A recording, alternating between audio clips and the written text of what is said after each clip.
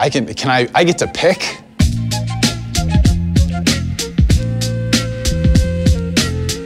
No, I don't have a signature hand. You know, I embrace all hands. I don't have that hand anymore, but I used to be 8-6, 6-8 suited. Don't ask me why. Aces, obviously. Everybody's got to say aces. 6-9 is known as Big Lick for 69. I want to lay claim to pocket aces. I'm just going to take those right now. You just say the pocket aces are the Rast.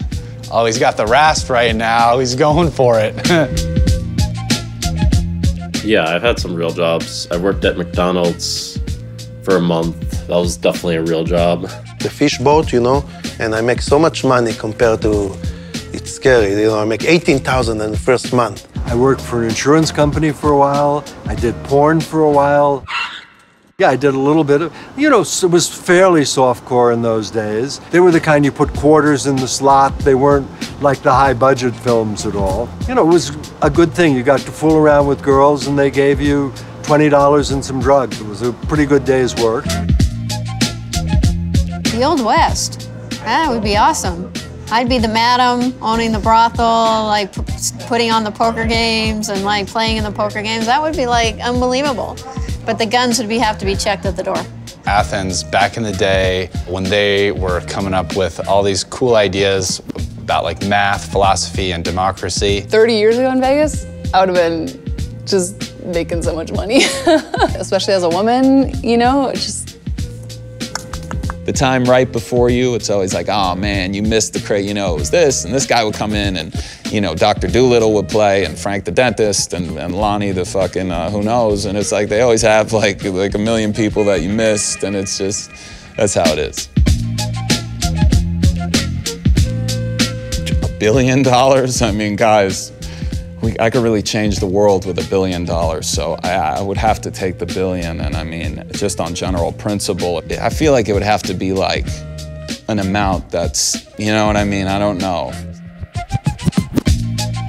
You know, I'm a Park Place Boardwalk kind of guy, obviously, but uh, take a turn around the corner, and I also like the two cheapest properties. I just like to own that corner. I would pick the property that's just mathematically the best investment. Clearly, it's the orange. And then after that, to a certain extent, I like the light blue ones. How much fun would that be if I could win the main? That was fuck.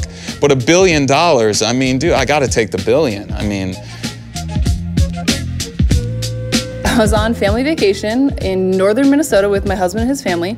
And so I got this text message and they're like, oh, so and so is sitting by himself at a heads up table. And I'm like, oh, and it's like 10 o'clock at night and I'm in the cabin with my husband's family and we're playing Yahtzee and I grabbed my laptop, and the only Wi Fi was down right by the water. There was this like little boathouse thing. I ended up getting it all in with two pair, and he had one pair, and I got counterfeit on the river, and I lost like a very large amount of money. And then he just left, and he was gone. And I had to go back up to the cabin and play Yahtzee with my in laws. like, they had no idea that I just lost a house. Is it, is it, can I never win the main now? I sign the, con, the devil contract and take the billion, main is out forever? I would take the billion. I had, a, I had a best friend and we would get drunk all the time playing, and playing really high too. It would almost be like a thing, like if we, one of us got really stuck, we'd just get drunk and then we would just almost always bail out. And we would talk about why is that? Are you lucky or are you we kind of came to the conclusion that a lot of times your first instinct is usually right, and it's easier to follow it when you're drinking as opposed to when you're not. I remember being in a hand in, with Lyle Berman. I don't know what he called me within the turn and no limit, but I kind of overreacted. Ugh, and I was so frustrated. I said, cocktails. I don't even know how much longer I played. I was winner 20,000, so I ended up winning $80,000, so I was completely blacked out. I don't remember anything. Not not one thing. Him and John Hennigan had a bet who could drink more. How much was the bet for? 10,000, I think, or something. And John, I never drank. I think he was drinking vodkas, and I was drinking Goldschlagers. And we kept getting two glasses, sort of like Todd has there. And after about five, four or five trips, John said, This is it. If you drink any more than this, you win.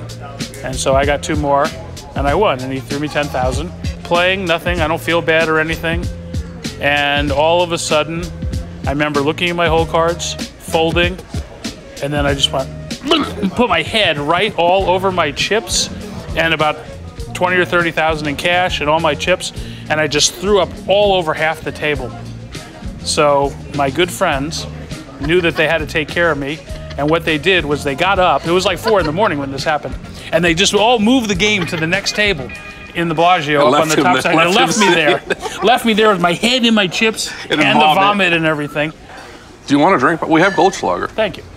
Hollow. I mean, a billion's a lot, but if it was like 10 million, I think I'd be still still hunting the main. You know, I think. Not that I can't use the 10 million. Don't mistake that for, oh, I'm so, no, no, the 10 would, yeah, I could, be, you know, yeah, I might take the 10. yeah, I'm not sure. It's a good question.